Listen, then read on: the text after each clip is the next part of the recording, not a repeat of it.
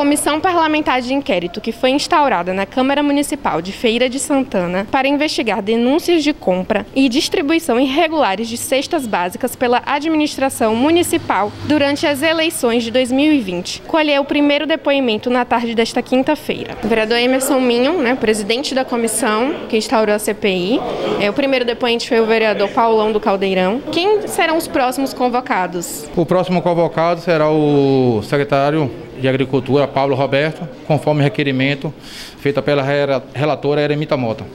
Né? Então ele vai ser o, o, próximo que a CPI vai ouvir. Qual o prazo que a CPI tem para dar um resultado? O prazo da CPI são 120 dias, prorrogar por mais dois meses, que daria 180 dias. Sendo comprovado no fim da CPI que houve irregularidades na distribuição das cestas básicas, o que de fato irá acontecer? Na verdade, a CPI ela não comprova, ela faz um relatório e apresenta aos órgãos públicos. E esses órgãos públicos que vão optar se houve irregularidade ou não. Nós estamos aqui para apurar, não para julgar. Alguns é, vereadores e algumas pessoas da mídia né, que estavam aqui fora é, comentaram referente como vai ser guardado a, o CD que o depoente, vereador Paulo Caldeirão, entregou. Temos um lugar seguro onde vamos guardar todas as provas que chegaram a essa comissão e ficar, ficará sob a minha responsabilidade.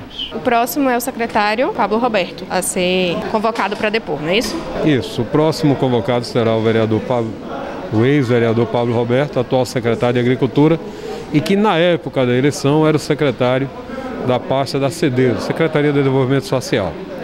Os elementos foram trazidos aqui hoje é, levam a essa convocação. Então é importante convocá-lo para, na condição agora de testemunha, ele poder depor e esclarecer alguns fatos que precisam ser esclarecidos. Agora, há pouco aqui na frente, teve uma certa confusão com algumas pessoas da imprensa e também alguns vereadores. Eles não acreditam, né, o CD que o depoente, o vereador Paulo do Caldeirão, entregou à presidência, não ficará resguardado. O que o senhor tem a dizer sobre isso? A todo momento, os vereadores que são ligados ao governo tentaram atrapalhar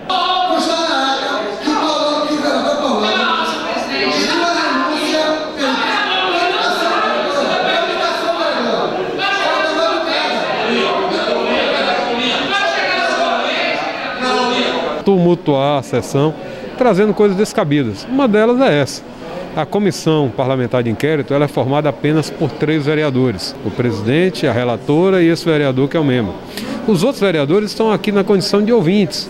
Eles participam.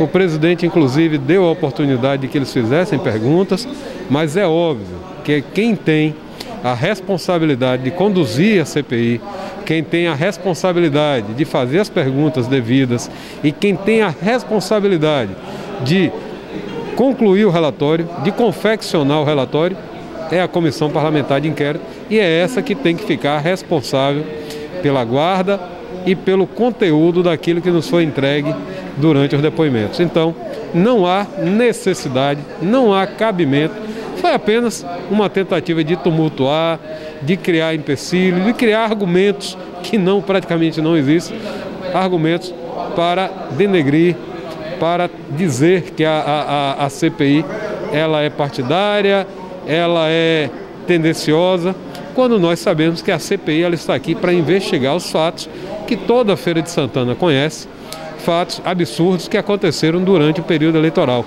Toda a cidade sabe teve ônibus com pneu cortado, teve funcionário público que foi coagido a votar em determinado candidato. Há vídeos que circularam na cidade onde pessoas recebiam cestas básicas e eram conduzidas, a, a, orientadas a votar em determinado candidato. Então toda a Feira de Santana sabe. O que os vereadores governistas tentaram aqui, obviamente, tumultuando, foi descaracterizar e tirar a, digamos assim, a legitimidade da CPI.